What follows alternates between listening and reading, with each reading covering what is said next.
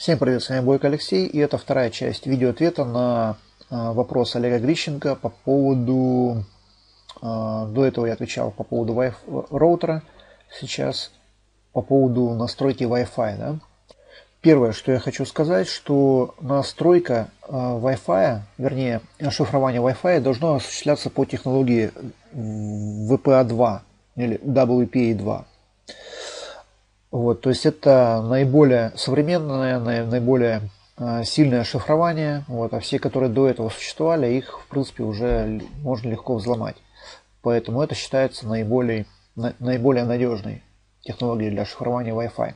Это первое. А, следующее. Это сильные пароли. Ну, необходимо устанавливать. Э, сильный пароль нужно установить как для входа в роутер, так и для э, Wi-Fi. Ну, я уже не говорю, конечно, о всех других паролях, которые э, вы используете на сайтах и так далее. Везде нужно сильный, но мы сейчас говорим о Wi-Fi. Да? То есть на роутер обязательно сильный пароль и на Wi-Fi. Что такое сильный пароль? Чем он отличается? Да? Какой сильный, какой слабый, как сделать сильный и как их все вот легко запомнить. Да? То есть на эту тему у меня есть специальный бесплатный тренинг, как навсегда решить проблему с паролями.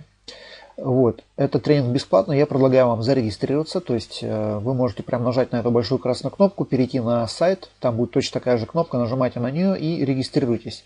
Все это бесплатно. Проходите тренинг, проходите тренинг и вы будете знать, как э, решать проблему с паролями, как их делать такими, чтобы они легко запоминались, чтобы они, помимо того, что они легко запоминаются, они еще и были очень сложными, и их невозможно было взломать. Да? То есть все это вы узнаете на этом тренинге которые вы можете потом использовать э, для шифрования э, для сложных паролей на Wi-Fi и на установке его на роутере. Вот. Ну и последняя часть, э, и в принципе самая надежная, это сделать фильтрацию по вашим устройствам, которые вы входите как бы вот в роутер. Да? Здесь вы делаете enable и добавляете MAC адрес вашего одного компьютера, второго компьютера, третьего компьютера, который вы подсоединяете по Wi-Fi, и э, также телефоны, и все, что вот у вас в сеть входит, вы все это здесь прописываете. И э, тогда только эти устройства могут э, пользоваться э, данным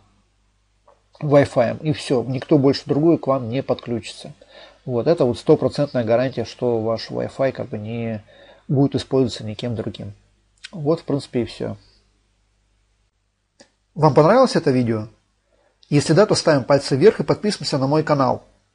Прямо под этим видео вы можете найти ссылку на мой сайт «Компьютерный гений» и группу ВКонтакте. Заходите туда и будьте в курсе последних видео и новостей. И у меня к вам такой вопрос. Какие у вас бывают проблемы с компьютером или компьютерными программами? Обязательно напишите об этом в комментариях прямо под этим видео. И следующее видео я сниму как раз по этой тематике и помогу решить вам вашу проблему. С вами был Бойко Алексей. Всем пока.